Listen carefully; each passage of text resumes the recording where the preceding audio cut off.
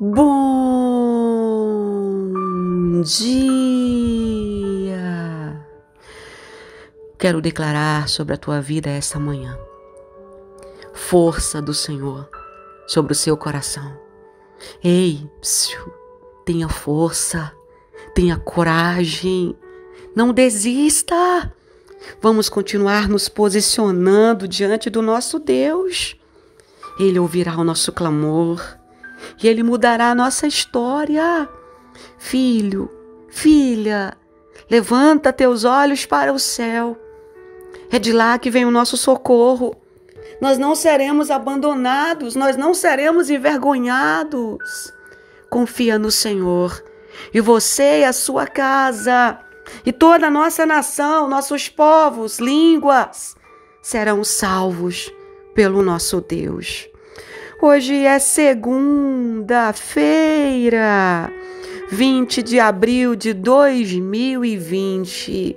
Eu sou a Bispa Virgínia Arruda e eu trago para você a palavra do dia.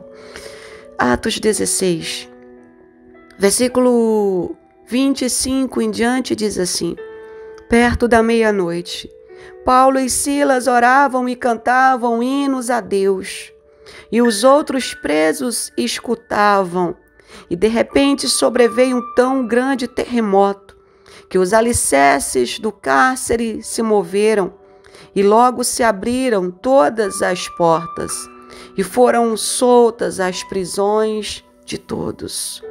Eu quero dar um tema a essa mensagem de hoje quebrando as cadeias. Você pode perguntar: como é que eu quebro cadeia, bispa? Não é fugindo delas, é as enfrentando no nome do Senhor Jesus. Encare cada circunstância da sua vida como uma oportunidade para um milagre. Houve um homem que a gente acabou de ler aqui sobre ele um homem de Deus, um apóstolo chamado Paulo. Ele sabia o que era uma vida de milagres. Mas o que me admira em Paulo e nos apóstolos é que eles não esperavam uma vida de facilidade, mas uma vida onde, quando o impossível chegava, Deus gerava um milagre. Ao analisar um milagre específico experimentado por Paulo, lembre-se, isso é algo que não pode ser realizado por meios humanos.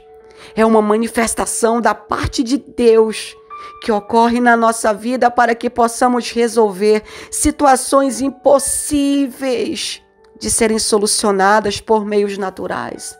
Você já parou para pensar? Tudo que você não pode fazer, Deus faz se você adorar o nome dele e clamar por ele. Quando a gente se parece com Paulo e Silas, a gente acredita que há um que há um Deus maior do que todas as coisas e problemas, mesmo que os sentimentos, tragédias nos sobrevenham. Não nos entregaremos a eles. A gente vê que aqui no livro de Atos, capítulo 16, 19 a 21, vai dizer que Paulo e Silas foram acusados injustamente. E muitas vezes nós somos acusados injustamente, mas o Senhor nos defende. Vai dizer que, vendo os seus senhores, que se lhes desfizer a esperança do lucro da moça que adivinhava, agarrando Paulo e Silas, Arrastaram eles para a praça, à presença das autoridades, e levando os pretores, disseram: Estes homens são judeus, estão perturbando a cidade, pregando costumes que não podemos receber nem praticar, porque nós somos romanos. Eles foram acusados, sabe por quê? Porque estavam pregando a palavra de Deus. Porque libertaram a vida de uma jovem se Paulo realmente precisava de uma intervenção divina, esse era o momento. A gente será que pode ter agora a capacidade de se colocar no lugar de Paulo e Silas? Se você fosse Paulo, acusado injustamente, levado para uma praça para apanhar, por algo que você não tinha culpa, que você era inocente, como você teria reagido? Muitos cristãos hoje não sabem lidar com as adversidades. A gente não sabe. A gente fica temendo. A gente fica é, é, é, é, perguntando por que, que Deus não faz algo quando as coisas ainda são possíveis aos nossos olhos. Queremos que Deus faça tudo.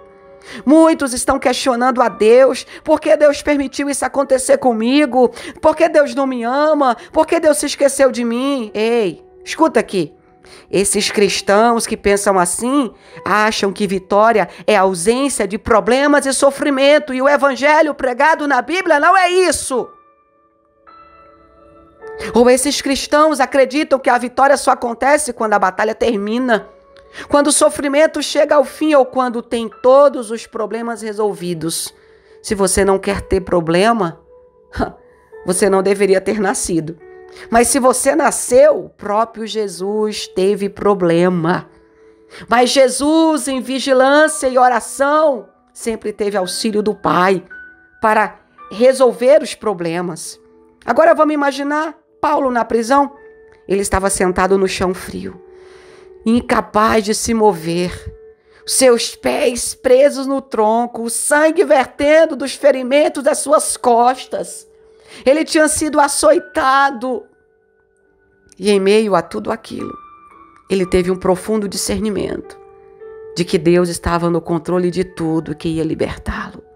Ei, não importa a dor que você esteja sentindo, o problema que você esteja enfrentando, Saiba, Deus está no controle de tudo e Ele vai libertar você se você tomar a atitude certa. A gente pode visualizar Paulo erguendo os olhos e as mãos lentamente em direção aos céus. Em meio àquela situação, Paulo começou a cantar, ele começou a adorar, cantando cada vez mais alto. A sua voz foi saindo pela prisão, a sua voz foi penetrando as paredes, as cadeias frias. E Silas se uniu a ele. Os dois se encheram naquele momento de adoração ao nosso Deus. Até que a presença poderosa do Senhor invadiu todo o cárcere. De repente, Deus interveio nas circunstâncias com um grande milagre, aonde nós lemos perto da meia-noite, Paulo e Silas cantavam hinos a Deus e os demais escutavam. De repente veio um terremoto, sacudiu os alicerces e abriram todas as portas. Todas as cadeias foram quebradas. Eu quero profetizar agora em nome de Jesus que você que me escuta é um adorador, você vai cantar, cantar, cantar. E as cadeias vão se quebrar. Deus vai receber o teu louvor. Em vez de murmurares, canta. Em vez de reclamar, canta. E o Senhor não apenas supriu a necessidade de Paulo e Silas com um milagre, como resultado da manifestação do seu poder, o carcereiro também foi salvo. Ei, se você mantiver os olhos fixos em Deus e uma atitude de fé e gratidão para com aquele que o amou e o salvou com seu sangue, este mesmo poder miraculoso vai estar disponível para você. Tenha fé em Deus e você vai receber nesse tempo difícil o milagre que você precisa. A adoração é uma arma muito poderosa, uma ativação com um nível de revelação nova. Buscamos o novo fogo e a nova adoração, a chave da nossa vitória e o que preserva o nosso cântico é o fato de celebrarmos e adorarmos a Deus e não agradarmos a nós mesmos. O centro de adoração é o Jesus o Jesus morto na cruz do Calvário, o Jesus, Filho de Deus, o Jesus que deu a vida por nós. Ative a adoração criativa, inspirada pelo Espírito Santo. Liberdade em expressar o amor e gratidão ao Pai Celestial. Proclame cânticos de vitória. Agradeça ao Pai, mesmo que ainda não tenha acontecido. Levante um altar de adoração e gratidão porque a palavra dele é fiel e verdadeira e se cumprirá na sua vida por causa do íntimo amor dele para com você e de você para com ele. A multidão que se levantou contra Paulo e Silas pode representar a multidão que se levanta contra nós hoje, amanhã. Mas Paulo e Silas, mesmo machucado e com dores, encontraram forças no Senhor para orar e cantar. Eles foram injustiçados, presos como homens perigosos, sendo homens pacíficos do bem. Nada do que lhes aconteceu pode tirar o louvor e a adoração dos seus lábios.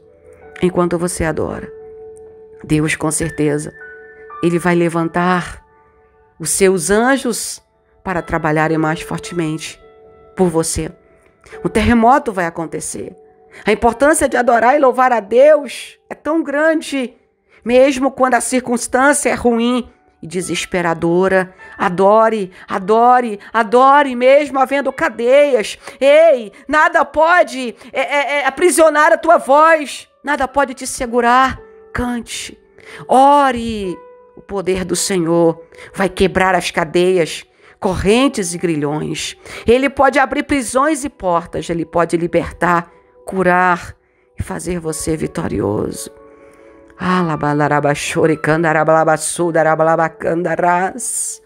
Você precisa passar para uma estação de louvor, agradecimento. É tempo de favor de Deus sobre a nossa vida. Peça ao Espírito Santo inspiração, revelação, o seu plano perfeito para a sua vida agora. Curva sua cabeça, ore comigo. Pai, em nome de Jesus, milhares de pessoas agora estão ouvindo esse áudio.